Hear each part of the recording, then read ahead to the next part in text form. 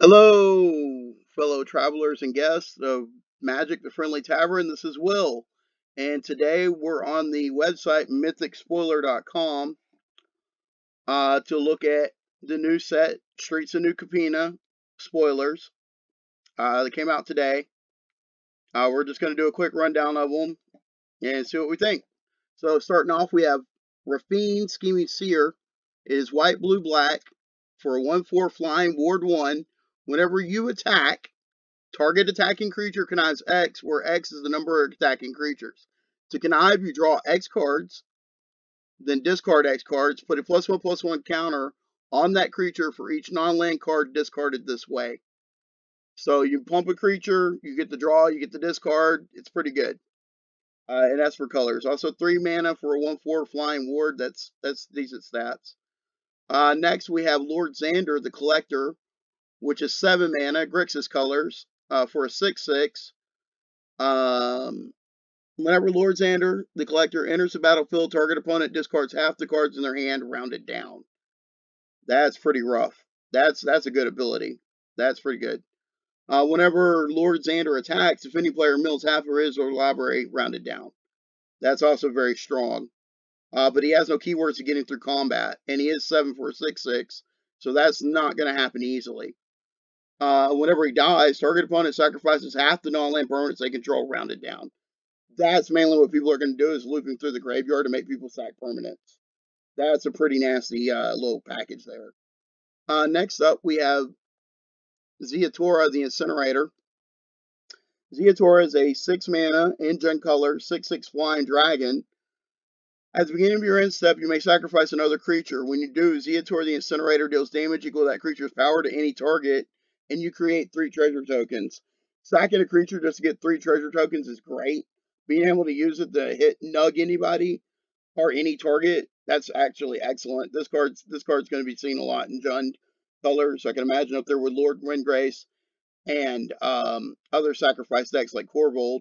It's not exactly Korvold because it didn't draw you cards, but it is some decent advan- uh, a decent advantage. It's an alright effect. Its stat line is fine. Uh, next is uh, Jetmir Nexus of Revels in Naya colors. Four mana for five four. That's already great. Uh, you know that's above curve. Uh, next, creatures you control get plus one plus zero and have vigilance, including itself, as long as you control three or more creatures. So if you control this and two other creatures, it'll actually be a six four vigilance. That's pretty good. Uh, plus your entire team will have plus one plus zero on vigilance. Then your team gets plus one plus zero on trample as long as you control six or more creatures. So you'll have the plus one plus zero for having three. Then you'll get an additional plus one plus zero on trample for having six. And then if you have nine or more, you get plus one plus zero on double strike. So you'll have plus three plus zero and double strike on your entire team if you control nine or more creatures. That's pretty good. That's telling you Naya wants to go wide. Naya really wants to go wide in the set and make lots of tokens. It's a very good token token uh, commander. Uh, lots to see from this guy. This guy might even see uh, playing standard. He's pretty decent. Uh, next, after that, we have Falco Spara Pact Weaver, which is a 4 mana, 3 3 flying trample in Bant colors. Um, enters the battlefield, you put a, with a shield counter on it. Shield counter says if it would be destroyed by damage or a destroy effect, uh, remove the shield counter instead. You may look at the top card of your library at any time. Uh, that's a static effect. You may cast spells from the top of your library by removing a counter from a creature you control in addition to paying its other cost. So you can play cards from the top of your library, but you're going to be losing counters off your creatures. That can lead to a very interesting build and be kind of powerful. Uh, definitely having the option to cast off the top of your library has always been a strong effect. And being able to just trade in to- or counters for that is pretty good. It's pretty easy to make counters on creatures. Doesn't matter what type of counters. Charge counters would be great for this. Uh, Bant colors is really good and has a lot of synergy with plus one plus one counters. So there's that. Uh, it would go really good in Atraxa. Uh, it's just decent. Uh, next up, uh, we also have Elspeth the Resplendent, a Planeswalker. She has five mana for five loyalty. Her plus one ability is choose up to one target creature and put a plus one plus one counter on it, and then put a counter from among flying First strike, lifelink, or vigilance on it. that's pretty decent. I mean, it's up to one creature. That way you can plus one it even if you don't have any creatures and you don't want to target your opponent's creature. Our next three is to look at the top seven cards of your library. You can put a permanent with converted mana cost three or less from among them onto the battlefield with a shield counter on it. Put the rest on the bottom of your library in a random order. Negative three, you get a three drop permanent for free out of the top seven cards in your library. You better believe that's a powerful effect. Is this an overall powerful planeswalker? I don't think so. Our negative seven ability is our ultimate, and it's uh, create five three three white angel creature tokens with flying. Um, that's not all that strong. Um, it's strong enough, but this will see play, but I don't I don't think it's broken in any way, any way, shape, or form. Do I think this is broken? Uh, do I like the second ability? I do like the second ability a lot. There's a lot of value there. There is. But as for chaining it together for a combo, I don't think you can do that. Um, but it will help with certain decks. Uh, it will definitely help with certain decks. This would probably be better in a mid-range deck than an aggro deck, but time will tell. Uh, next is wiretapping. Five mana for an enchantment. Hideaway five. So when this enchantment enters the battlefield, you look at the top five cards of your library and exile one of them face down. With the rest of the bottom of your library in a random order. Now we've seen hideaway lands uh, from Lorwyn. They were a cycle. And you hit away something from the top four cards of your library, and then a trigger would allow you to cast it for free later. So let's see if that's what this does. Whenever you draw your first card during each of your draw steps, draw a card. Okay, so you draw two cards during your draw step. Then if you have nine or more cards in hand, you may play the exile card without paying its mana cost. So you have nine more or more cards in your hand on your draw step. It's kind of kind of iffy to do, but it can be done and you get to play whatever under this. Unfortunately, hitting the top five cards of your library, you're never going to know what's going to go under this. So it could be less value than working with trying to get the nine cards to make it work. Uh, this enchantment is self-contained. Uh, I don't see it doing much. It's really not that great. Uh, moving on. Um, Nixilis the Adversary is a three-mana planeswalker for three. Casualty X.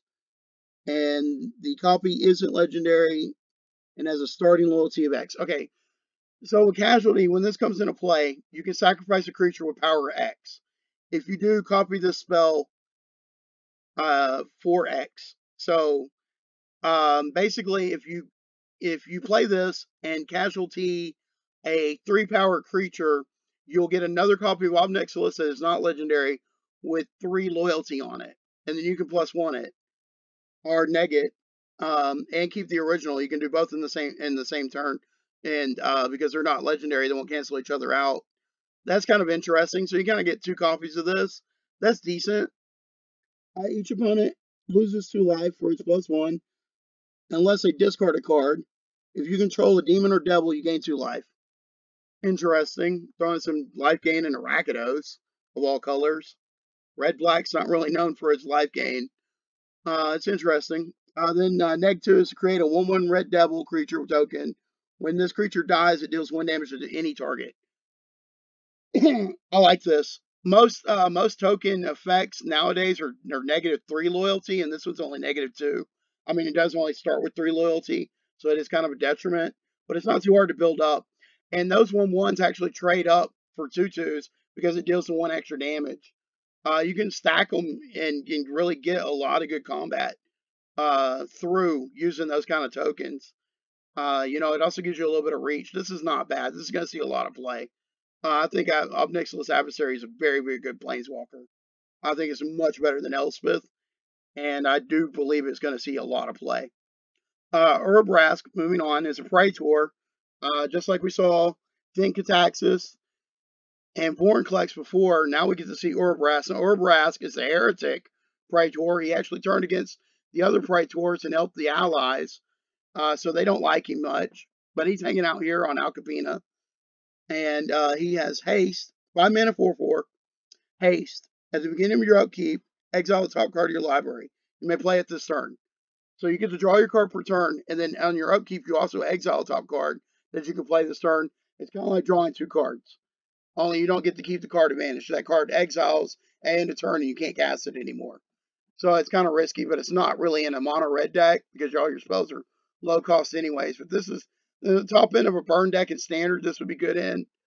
Uh, its second ability is really kind of good against control. As you get into each opponent's upkeep, the next time they would draw a card this turn, instead they exile the top card of their library. They may play it this turn. So if your opponent's drawing two cards a turn, say off like a Phyrexian Arena or something, you can force them to exile that one draw and then have to cast it that turn or leave it in exile. So it makes them have to have a choice of what spells they're going to cast. And if they can cast both of them, that's fine, but sometimes they can't, and they got to let one go. So it, it kind of helps against control, uh, control especially. But I wish it said if they would draw a card on their turn, exile it instead.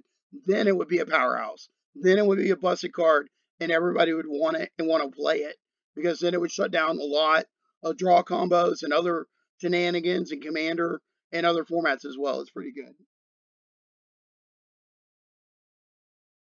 Um, here, I'll take a take a quick respite. Uh, we're going to be looking at Vivien of the Hunt next. And she has six mana for four loyalty. Legendary Planeswalker. Six mana for four loyalty. That's that's kind of a jet, but let's see. She got a plus two. That kind of makes sense then. Uh, you may sacrifice a creature. If you do, search your library for a creature with converted mana cost value equal to 1 plus the sacrifice creature's mana value and put it on the battlefield and shuffle. This is what we call birthing pod effect. This is after birthing pod. Birthing pod was the first serious card that had this type of effect on it, and it's good. I mean, the rebels were actually the first creatures to actually do this with the rebel ability, but when you have it on a stick like this, it's really, really powerful. Like Birthing Pod is pretty broken, and it can only do it at sorcery speed, and this can only do it at sorcery speed. At instant speed, it's extremely broken. Uh, this is this plus two ability is just nasty. This will allow toolbox decks to put together chains and chain out uh, value using her. It's it's it's a build around. It's really good. Our plus one is mill five cards and put any number of creature cards milled this way into your hand. That is so powerful. That that that is extremely powerful too. You're looking at five cards first of all, and then you get to keep all the creature cards from that in your hand. And if not, they're in your graveyard now. In a green black deck, and you want cards in your graveyard, this will be perfect for that. This is really, really high tech stuff. Uh, for its neg one, oh, it's got a neg one on it to make a four four green rhino. That's that's value. Even if you put this out and make two rhinos, you got your you got your money's worth out of it. Six mana for eight power. I see this thing. This thing is going to be this thing's going to be in a lot of green decks. Get ready to see a lot of Vivien. Wow, I'm impressed. That is a really good planeswalker. Usually I don't like planeswalkers, but that that one's pretty powerful. I'll give it that one. Uh, next is Ledger Shredder. It is two mana for a Bird Advisor one three, uh, flying. Whenever a player casts their second spell each turn, it connives, which is draw a card then discard a card. If you discard a non-land card this way, put a plus one plus one counter on that creature. All right, so the second, the, uh, each player casts a second spell their turn. That includes you or your opponents. You get to draw and discard. Then, if you discard a non-land card, put a plus one plus one counter on this creature. Pretty decent. Uh, it can get big. It can definitely get big. Um, unfortunately, discarding when you have when if you're land flooded and discarding non-land cards is not what you want to be doing, and you don't you really want to be pitching them land. So this is kind of a hard, going to be kind of a hard decision tree coming up, whether you're going to put that counter on that creature or not by discarding something that might be more valuable to you later down the road. But uh, then again, you know, those are those are kind of choices we've got to make in Magic. Next is Cut of the Profits, which is two black and an X for sorcery you may draw X card and lose X life. That's pretty decent, but it has casualty 3. As you cast this spell, you may sacrifice a creature of power 3 or greater. When you do, copy this spell. So if you put 3 mana into it, that's 5 mana to draw 3 cards at sorcery speed. That's terrible. But the fact is, you can sacrifice a 3 drop, draw 6 cards, and lose 6 life, and one creature. That's that's more decent, and you get 2 spells on the stack for storm count it's I'm gonna have to see this card in action. I can't really, really tell you off the top of the head whether it's going to be anything bro broken or not, but it seems good. Seems good. Uh, next, we're going to go to Jaxis the Troublemaker. Four mana, two, three, legendary creature. Boy, I hope his abilities make up for that stat line. Four mana for a two, three is not where you want to be. Okay, you can pay one and a red to discard a card like the old uh, spell shifters, savers. Uh, so pay one, pay red, tap it, discard a card. Create a token that's a copy of another creature you control against haste. And when this creature dies, draw a card. Sacrifice at the beginning of next step, activate only as a sorcery. Well, when I said the ability would have to be pretty good to make for a 4 mana 2 3, well, that ability is. That ability is, is really good. And then it has a blitz ability. If you cast this spell where its blitz cost, it gains haste. And when this creature dies, draw a card. You can put it in a turn for 2 mana, but it sacrifices at the beginning of the end step. So you get a one shot with it with haste to use this ability for two mana, for three mana altogether. That's nifty. This card's good. This card's great. Uh, this card's going to see some play. I, I, like it. I don't know where. Uh, it's kind of a minor, minor kiki jiki. It, it can, you know, not replace it, but do similar things to it. But you got to discard a card uh, and pay mana. That's what's keeping it back. It, it could have been better but they were playing it safe. It's all right. It's decent. With the magic cards we have nowadays, if you're not playing the old broken stuff, it's decent. Uh, next, we have Devil, Devilish Valet, which is a 3 mana 1 3, is a trample haste, Alliance. When another creature enters the battlefield in your control, double Dev Devilish Valet's power until end of turn. So, trample haste on a 3 mana 1 3 is not doing anything. But when another creature enters the battlefield, you can double its power until end of turn. So if you can get it a pump spell, maybe pump it plus three, so it has four power, and then play a creature, then it can have eight power, trample, and haste. That's good. That's decent. If you can do something like that, that's that's what you want to be doing. Uh, so this is a limited only, probably rare, but it's all right. Uh, then we have Broker's Ascendancy, which was spoiled earlier, but we'll go over it anyways. It is Bant, uh, green, white, and blue, three, enchantment. At the beginning of your end step, put a plus one, plus one counter on each creature you control and a loyalty counter on each planeswalker you control. Believe it or not, this is pretty busted. That's each creature and each uh, each planeswalker getting an additional plus one plus one counter and loyalty each in step. If this goes two or three turns, you could get out of hand.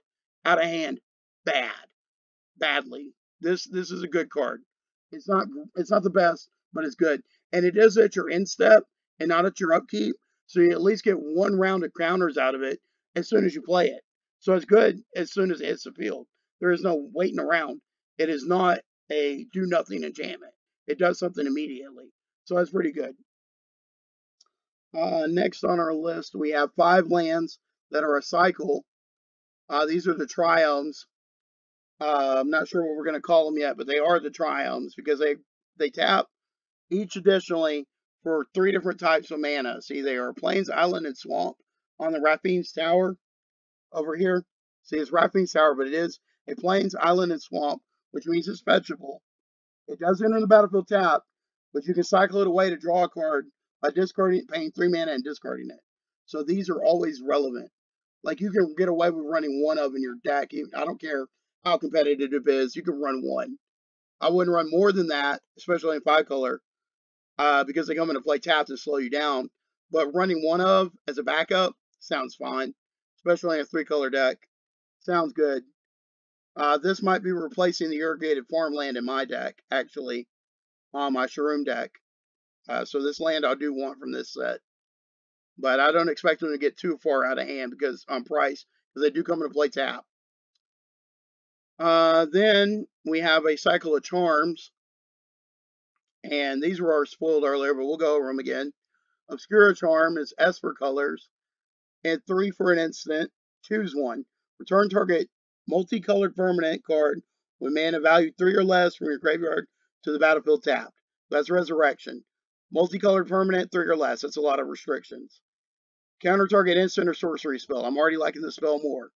Destroy target creature or planeswalker with mana value three or less. This is a pretty good charm. This is decent. Destroying a creature or planeswalker, three mana or less. Great. Counter target instant or sorcery spell. In case you don't have any creatures to destroy, great. Uh, get something back from the graveyard. You cannot you cannot complain. that is a pretty decent charm for an uncommon. Next up is uh, Maestros Charm. It is Grixis colors, three for an instant. Look at the top five cards of your library. Put one of those cards in your hand and the rest in your, into your graveyard. I love the dig. I love the fact that it fills my graveyard up with four cards. I love both of those facts. That's a pretty powerful effect. Next effect is each opponent loses three life and you gain three life. well, what you don't understand is the more the more opponents you have, the more life this will take, but you still only gain three life. You don't gain as much as you took, or else that would actually be a good ability. This ability, as far as it is, three life is negligible, even against three other opponents. It's meh. It never uses this effect. I will probably never use that effect. But I'll give you a dollar for every person you burn out. If they're at three life and you hit them with a charm and burn them out of the game, well, we'll talk about that dollar. I'm not making any promises, but you might get a dollar. uh, then it deals five damage to target creature planeswalker. For three mana, that's decent. For three mana, five damage is alright, but the other abilities just don't float it enough. It just doesn't make it really one playable. I don't know, just not something I see a lot of people playing. But that dig is good. That dig is good. Impulse is a good card. I don't know. I could see this setting something up. Maybe if there is a is a resurrection deck in standard, we'll have to see if that comes to fruition. Next up is Riveteer's Charm. It's Jund colors. Three for an instant. Choose one. Target opponent sacrifices a creature or planeswalker they control with the highest mana value among creatures or planeswalkers they control. Now, if they're if they're uh, tied, you get to choose. Um, this ability is all right especially since it hits their highest mana value target. So it usually takes out what you want it to, but sometimes this can miss. Sometimes they got two two drops out there and one you need really off the field for them to quit gaining advantage, like a Bob or Dark Confidant, as it will as you will, and the other two drop you don't care about, and they just sacrifice the two drop you don't care about. So this can't miss. That's not a super great effect. It's all right. It's all right. It gets around hexproof, gets around indestructible, because you're targeting the opponent, not the creature, and you're making them sacrifice. Uh, the next is exile top three cards your library until your next end step. You may play those cards. Pretty good dig. Dig's three deep. Uh, but they're exiled. If you don't play them by end of turn, they stay exiled. And three mana is a lot for that kind of effect. Uh, we know this from um, the impulsive draw spell. I can't think of the name of it, but it exiles three cards. And you may play on that turn for three, and it didn't see much play. Uh, then we can exile target players like Graveyard. Great utility, but not a lot of Graveyard decks running around in Standard. But if you're looking for Graveyard, Grave, Grave Hate, a little bit of Sacrifice, and then maybe some way to accelerate into the top three cards of your library late game, this is a charm for you. I think it's okay. For an uncommon, it's alright. Uh, then the Cabaretti charm has Naya colors for an instant and you can choose one. It deals damage equal to the number of creatures you control, target creature or planeswalker. That can be a lot, that can be a little. It's just telling you Naya wants to go wide. Uh, it's a hit or miss ability because it works on the variance of how many creatures you have. If you're facing down a 5-5 and they killed all your creatures but one, that effect's not going to be very good. But if you're already winning the game with like 10 creatures out there and they happen to slap a 2-2 down you don't like, well, this card will work for you. Uh, the next ability is creatures you control get plus one, plus one, and gain trample till end of turn. Minor combat effect. Not really worth three mana. It's alright, trample's okay. Uh, its last ability is the one I see used the most often, especially in draft, which is create 2-1-1 green and white citizen creature tokens, especially at instant speed. Creating tokens is good, especially when you get two of them uh, for one card. Uh, so it's worth one card card advantage because the token's only worth half a card in card advantage. So you, so it's it's all right. Still weak. Uh, still say the Esper Charm is the best one out of all of them. The Obscura Charm. Uh, next is the Broker's Charm. It's in Bant colors. Three for an instant. Choose one. Target creature you control gets plus one plus one until end of turn. It deals damage equal to its power to target creature planeswalker in opponent's control. So it pumps the creature, and that creature deals damage equal to its power to a creature or planeswalker. Now, this is what we call a fight or bite effect. A fight effect is when the creatures deal damage to each other. A bite effect is when the creature just deals its damage to the creature. So in the fight effect, they, they cancel it, they take each other out. in some cases. Some cases your creature would be bigger and survive, but in most cases they would they would they would can't they would take each other out. With a bite effect, there is no retaliation. You just deal the damage. So there there is no there is no dealing damage back. Your creature will always survive that. So this is a really good effect, but it does rely on you having a creature. That first ability cannot target unless you have a creature you control. Keep that in mind. So it's variance, but it is good variance in green. Uh, next, it can destroy target enchantment. That'd be so much better if we could destroy target artifact or enchantment, but it only destroys an enchantment. Last effect is draw two cards. Divination is three mana, sorcery, draw two cards. This is instant divination. It's much better. Drawing two cards is a mode that's probably going to be used a lot. Not a bad charm. Moving on. Uh, we have Nimble Larcenist. It is an Esper colored 2 1 flyer. Uh, Bird Rogue. It is uh, three color or three mana, 2 1 flying. When it enters the battlefield, target opponent reveals their hand. You may choose an artifact, instant, or sorcery card from it. Exile that card. So you get to get one of their instant sorceries or artifacts from the hand and exile it. That's decent. That's that's like a discard on a on a stick, only it's better because it didn't go to the graveyard. They'll never get that card back. It's just exiled from from ever, forever. Uh, three mana for a two-one flyers, man, but it's about a on par. Special an ability that wrecks their hand. That's that's probably gonna see some play if the deck if a Esper deck forms. It's all right. I mean, it's I kind of wish it was like a, two-two or maybe a three-one, but it's all right. It's all right, especially in uncommon. That's a good, pretty strong uncommon so far. Uh, next is a little chat. It's an instant casualty one. So as you play the spell, you may sacrifice a creature with power one or greater if you do copy the spell. Look at two, two, two look at the top two cards of your library. Put one on your hand and the other on your bottom of your library. Oh my goodness! And say you play play the the nimble larcenist out and it gets a little behind, and then later you just sacrifice the nimble larcenist of this. You look at the top four cards of your library you put two of them in your hand and the other two on the bottom. That's pretty good. That's decent. I mean, you do it two at a time, but that's still pretty decent. That's a pretty good dig for just giving up a, a irrelevant creature. I like this uh, little chat. I, I think this is going to see a lot of play. This is a pretty good spell for an uncommon. Uh, Rumor Gatherer. Uh, we're looking at a three mana, two one alliance. Whenever another creature enters the battlefield under your control, scry one. If this is the second time this ability resolves this turn, draw a card instead. So every time a creature enters the battlefield, you get scry one. That's its alliance ability. But if it's the second time this is resolved, you draw a card instead of scrying one. That's great. That's great. Uh, just play. Um, have this out on the field. And then play your Cabaretti charm, getting two one one green and white citizen tokens, and bam, you draw a card. That's decent. You scry a card. Actually, you scry one, then you draw a card. So you get both. That's that's pretty decent. I like that. Rumor Gatherer is pretty nice. 2 1 for 3 mana is pretty eh. But what can you do? Uh, next is the Discipline Duelist. It is a Bant colors. It is also a 3 mana 2 1, but it has double strike. Double strike always keeps power and toughness down because a creature with double strike is hard to deal with. Double strike is one of the best keywords there are, and it does does double the damage. And because it's first strike damage and regular damage, it makes combat rough, especially for your opponent. Um, it enters with a shield counter on it too. Uh, if it would be dealt damage or destroyed, remove the shield counter from it instead. A double striker with protection.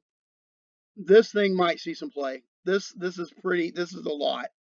There's a lot going on with this card. Um, I'd like to try and run it, but we'll see where we end up. It's not bad. Not bad at all. Next, we have Light 'em Up, which is Casualty 2 for sorcery, 2 mana. It deals 2 damage to a creature or planeswalker, but you can sack a creature with power 2 or greater. If you do, you can copy the spell, so you can get 4 damage out of this spell by sacking a 2 2 2. That's decent. Decent enough. Uh, definitely a Naya. If you got tokens laying around, this could be good enough. Um, nothing to truly write home about, but it's alright. Uh, next, we're going to talk about Halo Fountain. Halo Fountain is a three mana artifact in white. that you can pay it, untap a tapped creature you control, create a 1 1 green white citizen creature token. You can pay ta- two and tap it to, to, to untap two tapped creatures you control to draw a card. That's not bad. And you're untapping the creatures, but somehow you got to figure out how to tap them. You got to get them tapped for you to be able to target them to untap them. And then you get your effects because that untap the creature is part of the cost. If you haven't noticed, it's part of the cost. It's on the other side of the colon. And then for for five white mana, tap it, untap 15 tap creatures you control, you win the game. This is an alt win condition. People are going to be trying to win through this. It is very color intensive. We have five white um, pips on the Halo Fountain, but I do think that makes it a little fair. Uh, untapping the creatures, that's going to be fun, uh, watching people learn that. Um, interesting card all around. We're moving on. Uh, definitely probably not going to see any standard play, but might. You never know. Uh, life gain decks are a thing. Next is uh, an offer you can't refuse. It's one blue for an instant. Counter target non-creature spell its controller creates two treasure tokens. I love it. It just it's one blue mana to counter target non-creature spell. You give them a little bit of advantage, but it's not card advantage. You ramp them by two treasures. Could be dangerous. Worth the risk. This is a high risk, high reward card. Uh, when it works out, it works out great. When it doesn't, oh, I can hurt you. I'd run it. I'd run it all day long. This is you're going to be seeing this card, and it's and it's got a cool flavor. Next is Incriminate. Choose two target creatures controlled by the same player. The player sacrifices one of them. So they all will always pick the worst one. The worst one for you. This card's limited fodder. It's just not that great. I wouldn't be running this card. Unless you're up against a hexproof and destructible deck and just need an effect like this. Uh, at least it gives you, lets you, you know, but it won't get around hexproof. Because you got to target the creatures. I don't know. I just hate this spell. This spell is bad. This spell, on the other hand, is good. Strangle is one red mana for a sorcery. It deals three damage to a creature or planeswalker. Flame Slash was one red mana for a sorcery. Deal four damage to a creature or planes or or a planeswalker. It Flame Slash saw a lot of play. This will see a lot of play. Three damage is nothing to scoff at one mana. This is what red decks need. Unfortunately, it doesn't hit a player, which would be nice. But there are so many burn spells out there that already hit a player. They're just not printing anymore. They just really aren't because they can't. They can't really. There's not enough design space to improve on them. You know, we have the best burn spells that they can make already. So why try and build on that? So now they're not making them where they don't target players, and that's to keep the red deck from being so viable. When the when the red deck has viable burn spells to the face to take out their opponent and have that extra reach to make it past turn four, then they are deadly. But with the with the cap on spells that hit players in the face for cheap, red decks can stay viable without overrunning us. And grinders, tournament grinders, love red decks. Red deck wins, and it's because it's simple math, and each game is over by turn four, regardless. They know if they won or lost the match already, and they can move on to the next one. Allows them to grind out more games in one setting than if they were using a complicated storm deck. Uh, so let's see if uh, this card can bring mono red back. His Strangle is pretty good. Don't underestimate this card. You will be seeing it. Uh, next is Gala Greeters. Gala Greeters. Is two mana for a 1 1 alliance. Whenever another creature enters the battlefield under your control, choose one that hasn't been chosen this turn. Oh, you get three abilities. Uh, put a plus one plus one counter on Gala Greeters. Create a tap treasure token, so you can't use it right away. So that keeps you from ramping too hard. Uh, and you gain two life. Now, if you have something like Amulet of Vigor, that treasure token coming and play on tap, you can loop this. This can become broken. Uh, Gala Greeters, keep an eye on this card. This this is a nice card. Uh, first of all, you have three three different creatures coming to play. You get all three of those abilities. Slap a plus one plus one counter on it. Create a tap treasure token and gain two life. That's pretty good value. Gala Greeters might do something in the future, maybe not. Uh, we'll have to see. Uh, there's Murder. Three mana destroy target creature. We have better kill spells in standard already. We have better kill spells in every other format.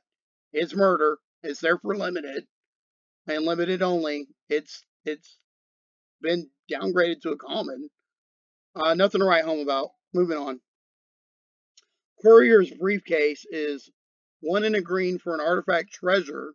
So it counts as a treasure. When it enters the when it enters the battlefield, create a one one green and white citizen creature token. Then you can tap the sack it to add one mana of any color. You know that's not bad. Uh, get a one one and you can make a add a color for two green mana. Or for one colorless and a green. You can pay five. You can pay WUBRG, which is one of each color for five. Tap it, sacrifice it, and draw three cards. And you could be doing so much better, doing so much more with five WUBRG mana than drawing three cards, but it's all right. It's it's it's it's there. Next we have Getaway Car, which is a vehicle. It is three. It is a four three when it is a creature. Haste. Uh, getaway attacks or blocks. Return up to one target creature that crewed at this turn to the owner's hand. That can actually give you value.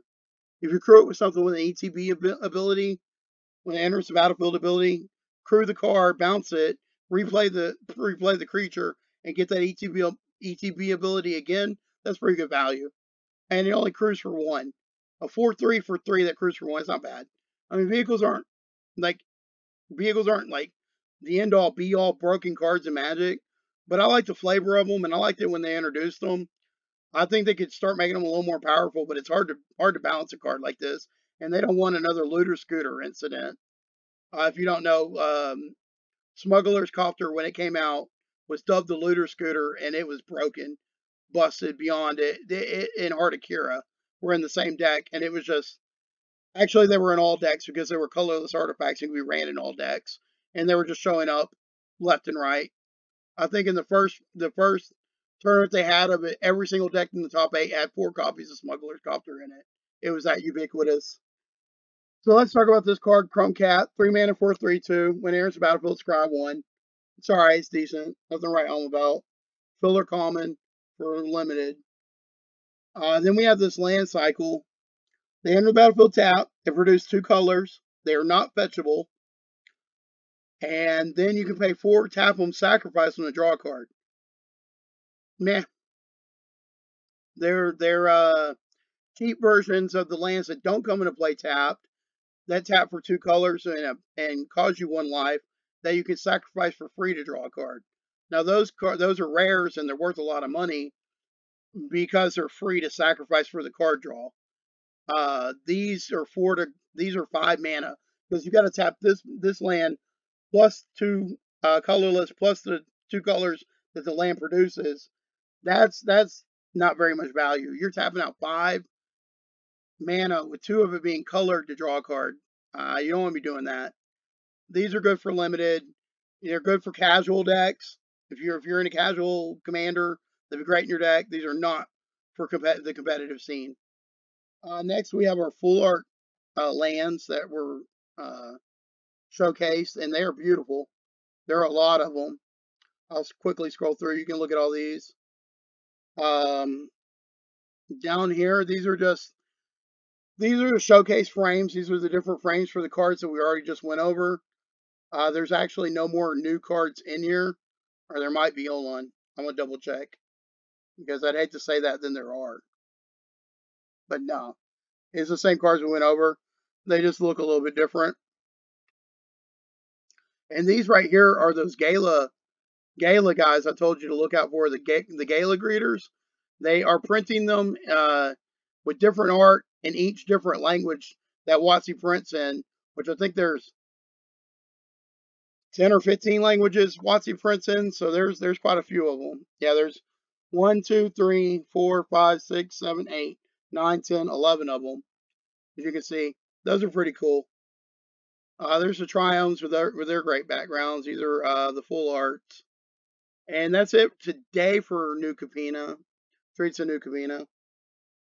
Oh, wait a minute. No, we have some more. These are the commander deck. The commander, I forgot, were spoiled as well. So these will be in the commander decks, but not the new set. Just the commander decks being released with the new set. So we have Kamiz, Obscura Oculus, with a 4 mana 2 4. Whenever you attack, target attacking creature can't be blocked this turn. It connives, which means draw X cards and discard X cards and uh, equal to the connive Uh, then choose another attacking creature with lesser power. That creature gains double strike until end of turn. Alright, so this is an Esper commander that cares about attacking. In the history of Esper, Esper has never cared about attacking. It's either artifacts or um, either cares about artifacts or control. I don't know what this thing is doing in, in Esper, trying to uh, care about attacking, but it's different. Uh, this will definitely be not a general you see very often, but one that would be fun to build around because this is not something Esper really does very often. Uh, is attack. I never attack. I I run seven creatures in my Esper deck, and I never swing. Um, then we have Anhelo the Painter, which is Grixis. He's three mana for a one-three Death Touch. Uh, the first instant or sorcery spell you cast each turn has casualty two, which means you can sack a creature with two power or greater if you do copy that spell. That could be dangerous. That could be dangerous. First instant or sorcery spell you cast each turn has casualty two. Copying it, yeah, that could that's that's that's a uh, that's what we call card advantage. That gives you a free cast on a spell, basically, and free casting's good, and that's card advantage when you get when you get free stuff like that. Uh, next is Henzie Toolbox Torre, which is Jund colors, three mana for a 3 3. Each creature spell you cast with mana value 4 or greater has Blitz. The Blitz cost is equal to its mana cost. So you can. Four or greater creatures come down for their mana cost, but they have haste, and you sacrifice them at the end of the end step. And if they would they if they would leave the battlefield, you draw a card. Uh, the Blitz cost costs one less for each time you cast your commander from the zone from the uh, command zone this game. Okay, so first time he doesn't really give a uh, give a uh, cost reduction. Uh, if he dies and then goes back to the command zone and you recast him, then your blitz cost on your four greater creatures costs one less. If you can get it costing two or less and blitz out some nasty creatures, I can see that being a problem. I can see this really stacking up. Uh, this is an interesting one. It's kind of wonky, but I think it's going to be good. Uh, then we got Kitt Kanto, Mayhem Demon. She is four mana in Naya colors. She is a 3 3. When she enters the battlefield, create a 1 1 white green citizen creature token. At the beginning of combat on each player's turn, you may tap two untapped creatures you control. When you do, target creature, target player controls get plus two, plus against trample until end of turn. Goad that creature. Goad means uh, the creature can't attack you or planeswalkers you control, but it must attack this turn. So basically, what she's doing is she's allowing you to tap tokens to uh, basically dictate combat on other people's turns. So on other people's turns, you can say, well, that creature gets plus two, plus two, trample, and can't attack me, but must attack this turn if able. Uh, so you make them attack somebody else, and you, I guess you can try and point out who the threat at the table is and try and get them to attack that. Maybe do some politicking. This is definitely a political commander. Uh, could be good. Could be good. Uh, next is Perrie the Pulverizer, which is in Bant colors. The 4 mana 3 3. It is a rhino. I love rhinos. Uh, when it enters the battlefield, put a shield counter on target creature. That includes itself. Uh, if it would be dealt damage or destroyed, remove the shield counter instead. Okay, so it protects it from dying. Uh, whenever it attacks, target creature you control gains trample and gets plus X plus X until end of turn, where X is the number of different kinds of counters among permanents you control. The more counters among permanents you control, the more plus X plus X this guy gives uh, to the target attacking creature. Whenever he attacks, you can have another, you either have another target attacking creature or you can target him or whatever. Let's say you have three creatures out there and two of them have uh, counters on them, any type of counters, charge counters, plus one, plus one counters, life link counters. Uh, they'll get plus two, plus two. So this thing could be swinging in as a 5-5. He'll swing in as a 4-4 because he counts his own counter. Uh, because he comes in play with a shield counter that you can put on him or something else. Uh, this is a decent commander, kind of utilitarian, uh, kind of basic, but what Bant really wants to do is be swinging anyways. So it kind of helps there. Um, I'm not sure. We're going to have to see the rest of the set to see how this goes. But these are pretty fine commanders. Uh, so far, I'm liking this set. Uh, please leave a comment uh, at the bottom telling me what you think of this set. Again, I'm Will for Magic the Friendly Tavern. As always, happy pack pulls and happy games.